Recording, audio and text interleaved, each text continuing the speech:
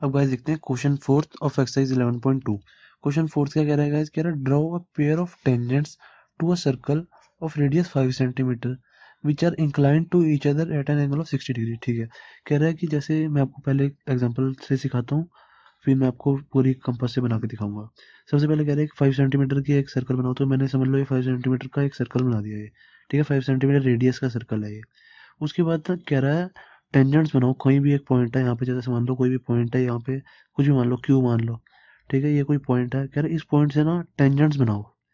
अब पहले क्वेश्चन हम क्या करते थे, जब भी हमें कि कोई पॉइंट दिया होता था टेंजेंट्स बनाने के लिए तो हम इसको जोड़ते थे, इसको जोड़ते थे, फिर इसको बिसेक्ट कर देते थे, ठीक है, फिर ये वाले तरीके से करते थे हम टेंजेंट पर इसमें क्या दिया हुआ है, हमें कह रहा है कि जब हम ये जो टेंजेंट बनाएँगे ना, ये यहाँ से यहाँ पर, यहाँ से यहाँ पर तो कह रहा है इसका एंगल सिक्सटी डिग्री दिया हो।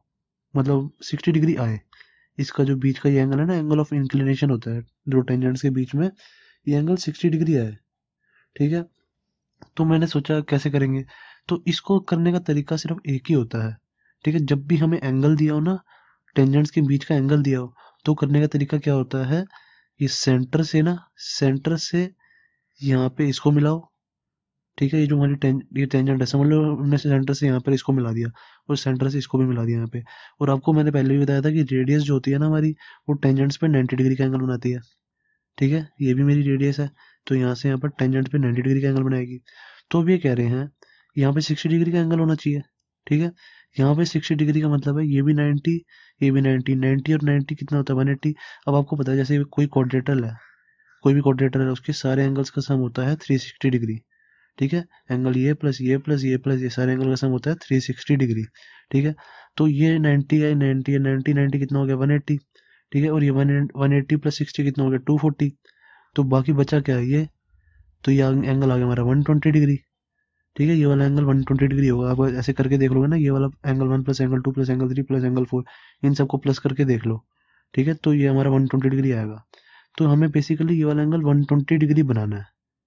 हम यहाँ से शुरुआत करेंगे। मैं आपको आपको फिगर से समझाता हूँ। ठीक है? जब हम कंपास से बनाएँगे तो आपको एक्यूरेटली अच्छे से समझ आएगा। ठीक है? ये मिटा देता हूँ। अब गाइस देखते हैं क्वेश्चन कह रहा है draw a pair of tangent to a circle of radius five centimetre कह रहा है रेडियस फाइव सेंटीमीटर रेडियस लेके एक सर्कल बनाओ तो मैं रेडियस फाइव सेंटीमीटर ले लेता हूँ स्केल से। ये मेरा फाइव सेंटीमीटर फाइव सेंटीमीटर आ गया। ठीक है? रेडियस मैंने सर्कल ये स्केल से फाइव सेंटीमीटर लिया और एक सर्कल बना दिया सबसे पहले। ठीक है, अभी बस ये इतना कह रहा है सर्कल बनाने के लिए तो मैं इतना बना देता हूँ।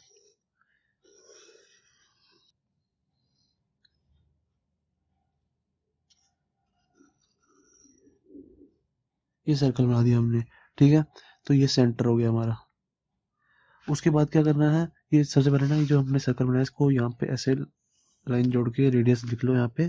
कितने का रेडियस का सर्कल बनाया हमने? फाइव सेंटीमीटर ओके ये मैं ये मैं ज़्यादातर ना लिख लेता हूँ ताकि फिर हमारे को ना आगे क्वेश्चन करने में आसानी हो। ठीक है?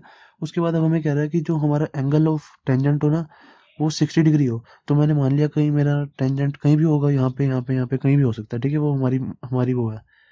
तो अब देखो, अब ना यहाँ, मैं यहाँ पे दो रेडियस बनाऊँगा, एक ऐसे एक ऐसे। मुझे ना ये मिटाना नहीं चाहिए था, एक बार दोबारा बताता हूँ मैं आपको यहाँ पे। जैसे ये सर्कल था फाइव सेंटीमीटर का, यहाँ पे मैंने एक रेडियस बनाई थी, ये ये सेंटर था जैसे हमारा, और एक मैंने यहाँ पे रेडियस बनाई थी।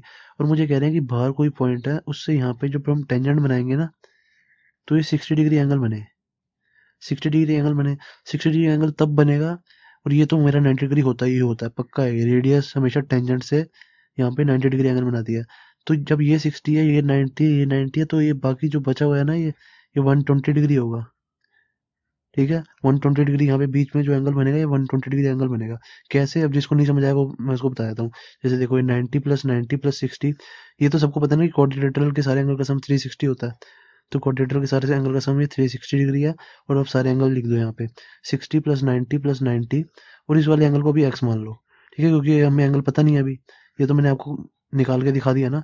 आपको मैं सीधा, मैंने आप मतलब आपको यहाँ पे डायरेक्ट बता दिया, मैं आपको निकाल के बताता हूँ। ये ninety ninety plus ninety plus sixty, क्योंकि हमें सिक्सटी दिया हुआ है कि एंगल सिक्सटी डिग्री है, हमें क्वेश्चन में दिया हुआ है।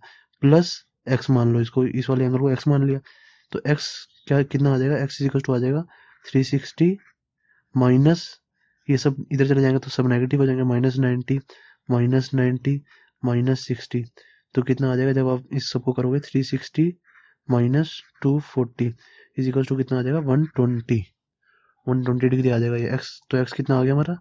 एक्स इक्वल टू आ गया वन ट्वेंटी डिग्री तो मतलब ये वाला एंगल कितना हमारा? वन ट्वेंटी डिग्री तो मतलब हमें बीच में एंगल यहाँ पे कहीं वन ट्वेंटी डिग्री एंगल चाहिए हमें। अगर यहाँ पे हमारा वन ट्वेंटी डिग्री एंगल बन गया तो यहाँ पे कहीं बार सिक्सटी डिग्री अपने आप बन जाएगा।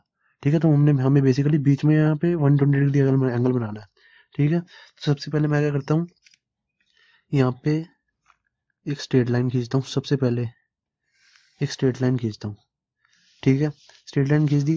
ये हमारी एक रेडियस होगी यहाँ से यहाँ तक, एक हमारी एक ही रेडियस होगी। पर मुझे बेसिकली अब यहाँ पे बीच में एंगल कितना चाहिए? One twenty degree one twenty degree angle कैसे बनाते हैं? मैंने आपको सिखाया हुआ है सबसे पहली क्लास में कंस्ट्रक्शन की। वन ट्वेंटी डिग्री एंगल कैसे बनाते हैं? ये बीच में है यहाँ पे कंपस रखी, जहाँ पे एंगल बनाना है वहाँ पे कंपस रखी और ऐसे एक सबसे पहले एक डी सी डी टाइप बना दिया। ओके तो अब यहाँ से हम पहला यहाँ पे कट लगाएँगे। ये बनेगा सिक्सटी डिग्री एंगल और यहाँ से फिर कंपस रख के यहाँ पे एक और कट लगाएँगे। तो ये बन जाएगा हमारा वन ट्वेंटी डिग्री एंगल तो अब इसको मिला दो। इस वाले पॉइंट को इससे आगे ले जाओ। ये बन गया हमारा वन ट्वेंटी डिग्री एंगल ये वन ट्वेंटी डिग्री एंगल बन गया हमारा ये। वन ट्वेंटी डिग्रीज ठीक है, अभी एक रेडियस हमारी यहाँ से यहाँ तक होगी, एक रेडियस यहाँ से यहाँ तक होगी। इसको नाम ले दो। ये ओ हो गया। ये हो गया हमारा पी ये हो गया हमारा एम ठीक है? ये रेडियस चाहे अब यहीं तक बना देते, कोई दिक्कत नहीं थी। अब देखो, हमारी ये दो रेडियस तो बन गई, यहाँ से यहाँ तक और यहाँ से यहाँ तक रेडियस बन गई और बीच में हमारा एंगल वन ट्वेंटी डिग्री भी बन गया, ठीक है? इतना काम हमारा बिल्कुल परफेक्ट हो गया। अब क्या करना है? बस अब छोटा सा काम बचा है, यहाँ पे नाइन्टी डिग्री का एंगल चाहिए मुझे और यहाँ पे नाइन्टी डिग्री का एंगल चाहिए। तभी तो मैं फिर यहाँ पे ऐसे स्ट्रेट लाइन खींचूँगा नाइन्टी डिग्री का एंगल बना दूँगा, फिर यहाँ पे स्ट्रेट लाइन खींच दूँगा। तो फिर ये ये लाइन बन जाएगी हमारी और ये वाली लाइन भी बन जाएगी। बस हमें बेसिकली यहाँ पे नाइन्टी डिग्री और नाइन्टी डिग्री एंगल चाहिए यहाँ पे।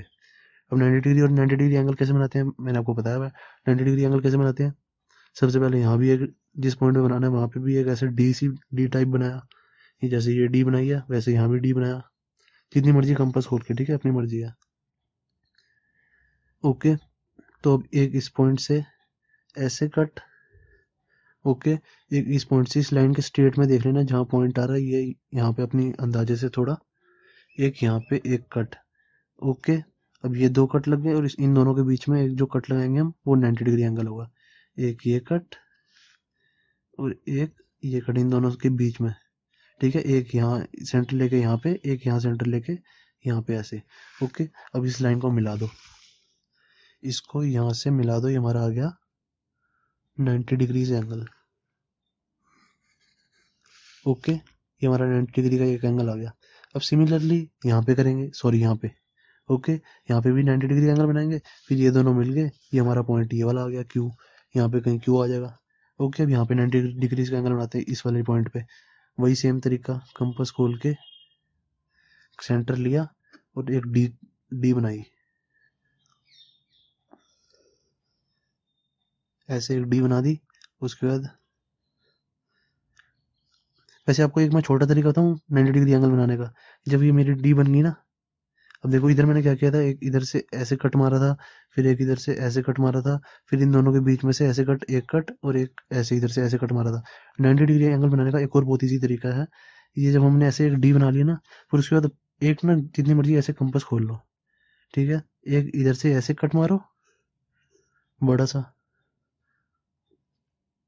ये ऐसे कट मारो और एक इस पॉइंट से, ये वाले पॉइंट से कंपस यहाँ पे रखी और एक इस पॉइंट से ऐसे कट मार दो। ओके। एक इस वाले पॉइंट से मारा कट मैंने, देखो, एक इस वाले पॉइंट से और एक इस वाले पॉइंट से। ये दो कट मारा, बस इन दोनों को मिला दो। ये भी हमारा 90 डिग्री का एंगल बनता है। ये थोड़ा शॉर्ट तरीका है। ओके। इसको मिला दो और इसको भी आगे कर दो। बस क्वेश्चन हमारा खत्म। ये एंगल जो हमारा आएगा, अपने आप ही सिक्सटी डिग्री एंगल आएगा। क्यों आएगा? क्योंकि देखो, हमने ये भी नाइन्टी बना दिया। ये भी नाइन्टी बना दिया और ये वन ट्वेंटी बना दिया। तो बाकी क्या बचा? ये अपने आप ही सिक्सटी डिग्री सिक्सटी डिग्री आएगा, क्योंकि इन सब का सम थ्री सिक्सटी डिग्री होना चाहिए। थ्री इन सारे एंगल्स का सम थ्री सिक्सटी डिग्री तभी होगा जब ये सिक्सटी डिग्री होगा तो ऑब्वियसली अपने आप ही ये सिक्सटी डिग्रीज आ जाएगा। ओके बस ये ऐसे करने का तरीका है, और किसी तरह कोई तरीका नहीं है इसको क्वेश्चन को करने का। ठीक है? अब हम हम लिख देंगे steps of construction steps of construction में क्या करना है? जैसे जैसे हमने ये फिगर बनाई है वैसे वैसे लिखते जाओ स्टेप्स ऑफ़ कंस्ट्रक्शन में। स्टेप्स ऑफ़ कंस्ट्रक्शन का फ़र्स्ट पॉइंट क्या है? सबसे पहले हमने क्वेश्चन में क्या क्या किया था? सबसे पहले हमने बड़ा वाला सर्कल बनाया था रेडियस फाइव सेंटीमीटर लेके, ठीक है? तो draw a circle of radius five centimetre okay first point हो गया हमारा। सर्कल बनाने के बाद हमने क्या किया था? फिर हमने ये बीच में 120 डिग्री का एंगल्स बनाया था। डायरेक्ट ना गैस पॉइंट टू पॉइंट हम लिखते हैं, ठीक है? अब इसके बाद ये नहीं लिखेंगे कि हमने ये वाली लाइन बनाई फिर हमने फिर 120 डिग्री, फिर हमने मतलब सबसे पहले हमने ये वाली लाइन बनाई, फिर हमने यहाँ पे ऐसे डी बनाई, फिर हमने यहाँ पे एंगल लगाया, यहाँ पे एंगल लगाया। इतना कुछ नहीं लिखना होता। डायरेक्ट लिखना होता है कि सीधा हमने 120 डिग्री का एंगल बनाया। ठीक है? पॉइंट टू पॉइंट लिखना होता है। मतलब बेसिकली हमें ना बहुत अंदर डीपली नहीं लिखना होता। ऊपर से लिखना होता है कि हमने वन डिग्री का एंगल बनाया। फिर हमने यहाँ पे 90 डिग्री का एंगल बनाया, यहाँ पे 90 डिग्री का एंगल बनाया, फिर यहाँ पे 60 डिग्री का एंगल बनाया, फिर हमने इसको जोड़ दिया। बस पॉइंट टू पॉइंट ऊपर ऊपर से लिखना होता है। पूरा अंदर से नहीं लिखना होता। सीधा मैं यहाँ पे डायरेक्ट लिखूँगा। Then make an angle 120 degree 120 degree का एंगल बनाया। एट पॉइंट ओ बस ये लिखना बहुत ज़रूरी है कि हमने ओ पॉइंट पे बनाया कि कोई कोई और पॉइंट पे नहीं बनाया। एट पॉइंट ओ या एट या लिख दो एट सेंटर ठीक है? एट पॉइंट ओ या एट सेंटर एक ही बात है। फिर थर्ड पॉइंट में हमने क्या किया? थर्ड पॉइंट में हमने यहाँ पे वन का एंगल बनाने के बाद, उसके बाद क्या किया था? ये ओ से एम को यहाँ पे जोड़ दिया था जब यहाँ पे कट गया था ये वन ट्वेंटी डिग्री का एंगल यहाँ पे आया था। उसके बाद हमने इसको यहाँ से ऐसे जोड़ दिया था।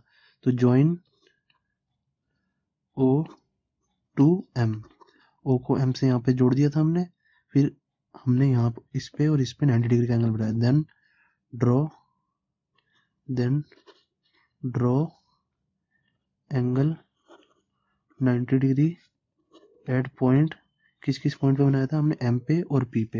At point M and P then draw angle 90 degrees at point M and P P पे और एम पे हमने 90 डिग्री का एंगल बनाया। ठीक है? फिर फोर्थ में हमने क्या किया था? हमने इसको यहाँ से जोड़ दिया, इसको यहाँ से जोड़ दिया। इसको इस पॉइंट को कुछ भी मान लो, इसको मान लो क्यू मान लो। ठीक है? और कुछ क्यू हमने लिया तो नहीं हुआ बस ठीक है। एम को क्यू से जोड़ दिया। Then join M to Q and P to Q P to Q ठीक है? फिर देन फिफ्थ में लिखेंगे angle sixty degree then we obtained, we obtained angle 60 degree at point q at point q पे। हमने पॉइंट क्यू पे हमारा angle 60 degree आ गया ऑप्टेन हो गया। दैट्स इट यहाँ पे लिख देंगे हेंस सिक्स में यार एक कट गया था थोड़ा, अपने आप देख लेना ठीक है, थोड़ा सा कट गया था। Then join M to Q and P to Q है उसके बाद then we obtain angle 60 degree at point Q पे। ठीक है पॉइंट क्यू पे हमने 60 डिग्री एंगल बनाया, फिर सिक्स पे क्या लिखेंगे? Then we have obtained, hence, tangents from point from point q are obtained. ठीक है? फाइव सिक्स सेवन स्टेप की बस कंस्ट्रक्शन लिखा करो, इससे ज़्यादा कंस्ट्रक्शन मत लिखा करो और अपने आप खुद बना के लिखा करो। तो बस स्टेप्स ऑफ़ कंस्ट्रक्शन भी हमारी हो गई। दैट्स इट ठीक है?